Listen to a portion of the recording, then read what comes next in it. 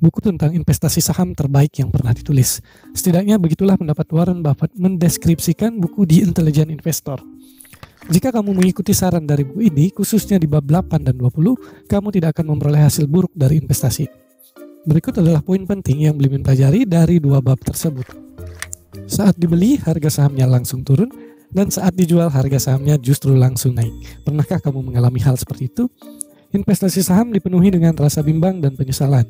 Saat profit menyesal karena harusnya bisa cuan lebih banyak, ketika rugi menyesal karena harusnya cut loss lebih awal. Kenapa hal ini bisa terjadi? Tentu saja karena kita bertransaksi berdasarkan asumsi pasar. Saat pasar sedang bullish, kita berlomba membeli saham tertentu. Sedangkan saat harga saham mulai turun dan terkoreksi, semuanya berlomba menjual saham secepat mungkin. Bagaimana cara mengatasinya? Tentu saja kita harus menjadi investor yang cerdas. Kita harus mengetahui bahwa harga saham tidak sama dengan nilai intrinsik saham. Harga adalah apa yang kamu bayar dan nilai intrinsik adalah apa yang kamu dapatkan. Jika pergi ke marketplace, kamu akan menemukan uang pecahan seribu edisi lama yang dijual dengan harga Rp5.000. Itu artinya harganya adalah Rp5.000 dan nilai intrinsik uangnya adalah tetap Rp1.000 karena kita bisa menggunakannya belanja nilainya hanya Rp1.000. Itu artinya harga berada di atas nilai intrinsiknya. Tentu saja kita menginginkan yang sebaliknya. Harga 1000 tapi nilai intrinsiknya Rp5.000. Apakah mungkin terjadi? Dalam investasi saham hal semacam ini sering terjadi. Benjamin Graham menganalogikan bursa saham sebagai seorang dengan kepribadian ganda bernama Mr. Market. Setiap harinya dia akan datang dan menawarkan untuk membeli atau menjual saham baru. Atau sederhananya seperti ini. Bayangkan kamu membeli sebuah rumah kos-kosan seharga 1 miliar rupiah dengan pendapatan per tahunnya adalah 120 juta rupiah. Mr. Market diibaratkan sebagai seorang yang datang setiap hari untuk membeli kos milikmu dan menawarkan kos lain di sekitarnya untuk kamu beli. Sayangnya dia memiliki dua kepribadian ganda yang bisa berubah sewaktu-waktu. Di saat moodnya buruk, dia akan menawar kosmu dengan sangat murah atau sebut saja 500 juta misalnya. Tapi ketika moodnya sedang bagus, dia bahkan menawar kosmu hingga 5 miliar rupiah, jauh di atas nilai intrinsik kos-kosan tersebut. Investor cerdas tentu akan memanfaatkan kondisi mood Mr. Market dengan menjual saat moodnya sedang bagus dan membeli kosan lain saat moodnya sedang buruk. Tentu saja kita tidak harus bertransaksi jika tidak ada penawaran yang menarik darinya. Di tahun 2020-2021, laba saham ADMF naik hampir 20%. Tapi bagaimana dengan harga sahamnya? Ya, harga sahamnya turun dari Rp10.000 menjadi Rp8.000. Inilah bukti bahwa pasar atau Mr. Market terkadang tidak rasional. Sebagai investor cerdas, sebaiknya kita tidak terpengaruh oleh mood Mr. Market dan harus mengambil keuntungan dari ketidakrasionalannya. Tentunya dengan membeli saat Mr. Market berada dalam mood yang buruk dan menjual saat Mr. Market ada di fase euforia. Poin kedua adalah margin of safety. Sebaik apa pun kamu menganalisis saham, ada satu risiko yang tidak dapat dihilangkan, yaitu risiko melakukan kesalahan. Namun, tentunya kamu dapat meminimalisir risiko ini dengan memastikan bahwa setiap saham yang kamu beli memiliki margin of safety atau margin keamanan. Misalnya ada 9 orang yang menaiki lift dengan kapasitas maksimalnya adalah 10 orang. Maka tentu saja lift berfungsi dengan baik.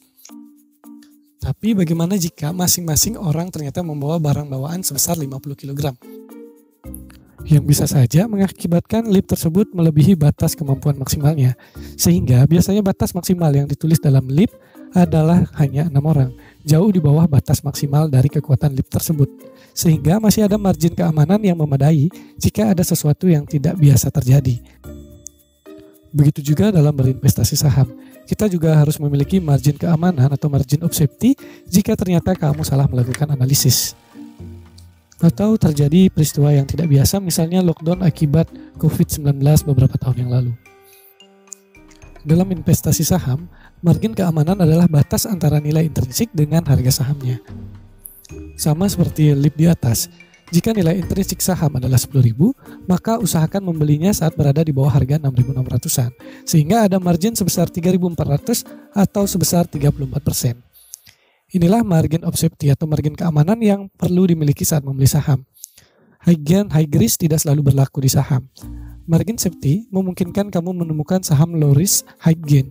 Semakin besar margin keamanan atau margin of safety suatu saham, semakin minim risikonya. Ya, tentunya kalian akan bertanya-tanya bagaimana cara menghitung nilai intrinsik perusahaan. Baik, sedikit akan saya jelaskan.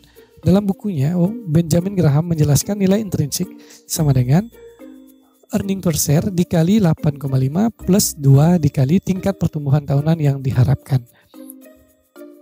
Tingkat pertumbuhan harus sama dengan pendapatan tahunan yang diharapkan setidaknya 7 sampai 10 tahun ke depan.